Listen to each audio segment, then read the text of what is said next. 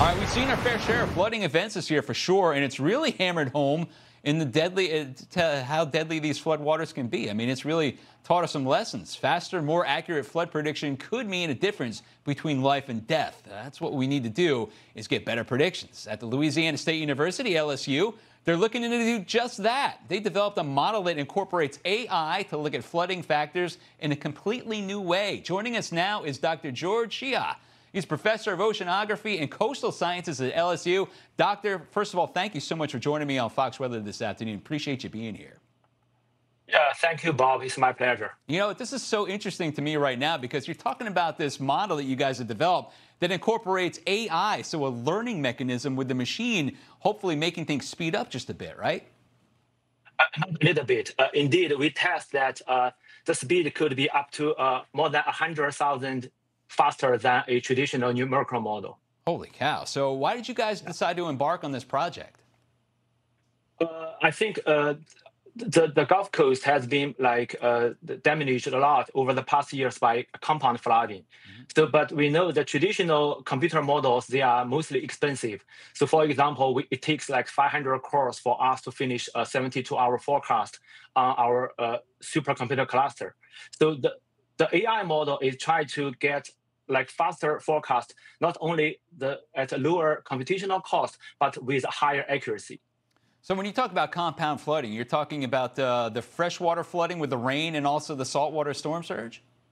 Yeah, exactly. Uh, this is when when the hurricane is approaching, we, we will have flood not only from the ocean but also the water falling from the sky. Mm. The most complicated part is their interaction. Doctor, have you been uh, pleased with the results you've seen so far with the forecasting?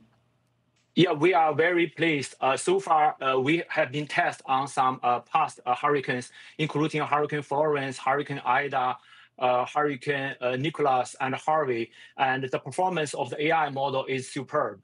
It is much faster than the numerical model and with a higher accuracy. So when you're talking about faster, are you talking you can pump out a forecast within minutes? Uh, less than minutes. Uh, so that right now the computational cost mm-hmm. for a, a 72-hour forecast is use a laptop for, for within four seconds. Oh my God!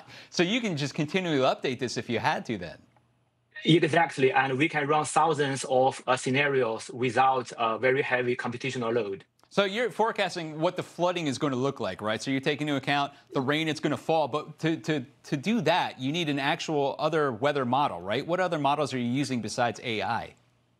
Uh, we use uh, the the AI was built uh, with a combination of computer models. That is a in-house development of uh, a regional ocean model, fully coupled with a uh, hydrological, model called WRF Hydro. Mm-hmm. So we developed this uh, dynamic two-way coupled uh, modeling technique, which is uh, very advanced, but also they are expensive to carry out. Oh, this is great. So is this going to be operational for the public, or is it just in-house so far?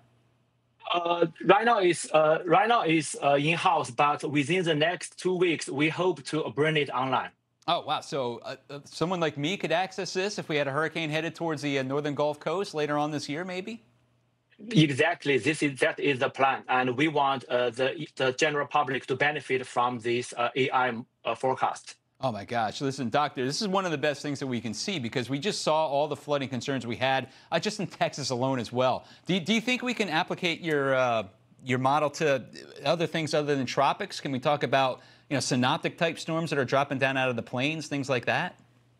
Uh, yes, because the nature of the uh, the computer model behind this AI model is we run both hydrological flood model and also the surge model. So it can handle not only uh, uh, the, the, the surge at the coastal region, but also the inland flood very well. Wow, this is fantastic news right here because we could use all the help we can get when you're talking about trying to predict where a flood is going to be and how long it's going to last.